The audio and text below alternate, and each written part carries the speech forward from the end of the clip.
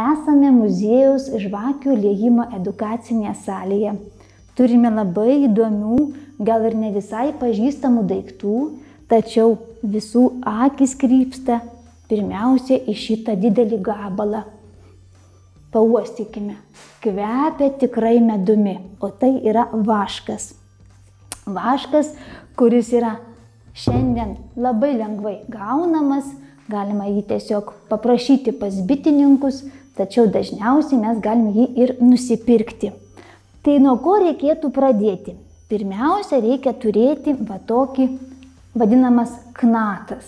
Yra kaitinamas vaškas ir mes pirmiausia tą knatą tiesiog taip pat įmerksime, kad jisai būtų truputėlį jau suvilgytas ir reikės užkabinti. Va, ir užkabiname.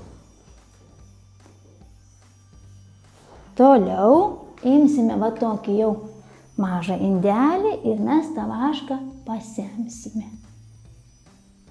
Čia yra pas mane net aštuonios tiesiog bus žvakutės, aštuoni knateliai. Na ir ant kiekvieno pilsime vašką.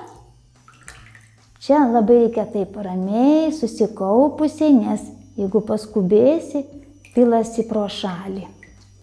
Na ir leisime tiesiog tam ratui suktis, nes vaškas pasilieka ant knato, kai jisai bėga žemyn, jis iš karto ir pradeda vėsti.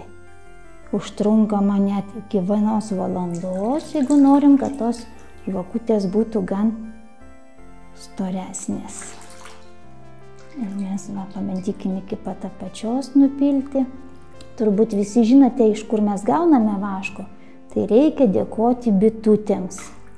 O kai bitininkas nori paimti medų, jis turi atskirti tą vašką nuo medaus. Tai yra tiesiog metsukiai ir tokiu principu sukdami metsukyje visą korį, išsuka medų ir lieka tik tai bitučių jau nulipdytas korys iš vaško. Tai turbūt visi mes žinome, kad neužilgo bus kūčių diena ir visi darome atitinkamus darbus. Vaikai puošia eglutę, mamos tiesiog ruošia valgius, tvarko namus ir vakare, kai pateka vakarinė žvaigždė, ant stalo mes matome turbūt mažiausiai 12 patiekalų, dažniausiai mamos šeimininkės paruošia jų ir daugiau. Ir vidury stalo matome, kaip yra pastatome žvakutė. Na ir žinoma, kai jau ateina laikas, mes visi susėdame ir ta žvakutė yra uždegama. Prisimenama yra ir mirusieji. Tai ta žvakutė mus tiesiog, vat, kaip sakiau, ir suvienyje. Prisimename, kas mumis yra šiandieną ir ko mes tiesiog jau negalime pamatyti. Na. Matot, po truputį žvakutės to plati storėja, bet labai nežymiai. Būna taip, kad vaškas, jeigu perkaitinamas, jis pradeda net ir garuoti. Tai yra labai svarbi temperatūra. Jau turbūt kokį 20 ratą mes čia sukome, bet tikrai rezultatas matosi.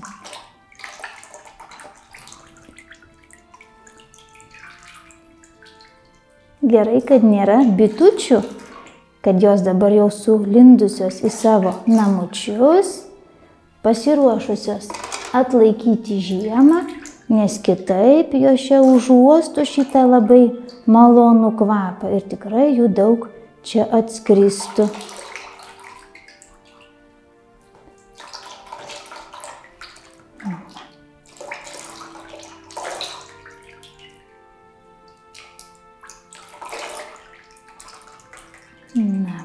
Turbūt mes jau dabar ir užbaigsime.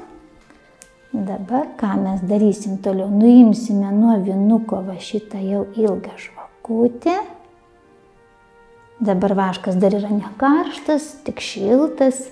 Mes galime ją, ką norime, truputėlį atrasti, kur tas knatelis pasislėpęs. Ir čia va taip pat galiukas jisai yra truputėlį išilgintas ir čia knatelio nėra, jis tiesiog ir neturės visai kur degti. Va, aš jau matau, jisai išlinda. Ir dabar vėl aš nusinešiu žvakutę prie stalo. Turime pirmą žvakutę jau nuimtą, atsinešėm prie stalo ir su rankytė mes truputėlį dar ją patiesinsim. Su žirklutėm truputėlį tą knatelį iš karto pataisyti, kad jis būtų matomas. Ir kaip sakiau, gale taip pat reikia truputėlį nuimti to vaško ir truputėlį mes ją pavoliokime, kad jinai pasitiesintų. Oi, pasitiesintų. O čia, kad būtų lygiai, išlyginkim, kad nebūtų kažkokio sustorėjimo. Galima truputėlį įsmeit, kad būtų jo tiesus va tas apačia, kad būtų tiesi. O galima kaip tik padaryti smailę, jeigu norėsim kažkur įsmeigti. Dedam knatą prie pat krašto ir mes atsargiai tiesiog jau tą vaškuolę prilipiname ir susukti reikia taip, kad kuo, kuo trampriau būtų jisai prisisukęs. Va, mes po truputį, aš tiesiog va, pasuku po truputį, kad nesusidarytų jokių tarpelių nereikalingų. Va, kad būtų lygiai, išlyginame ir vienodai, kad krašteliai eitų, pasižiūrime, kad tikrai žvakutė nebūtų kreiva. Tiesiai va mes taip sukame, gan prispausdami pirščiukais. Ir vat gauname va tokį, tokį cilindriuką. Ir belieka tik tai nutrumpinti mums knatelį. Čia mūsų bus va tokia pusė prie pat, o čia galima taip pat šiek tiek truputėlį nutrumpinti. Na va ir žvakutė yra baigta. Galime atidėti ir iškart ją uždegti. Tai tikrai yra labai labai greitas būdas.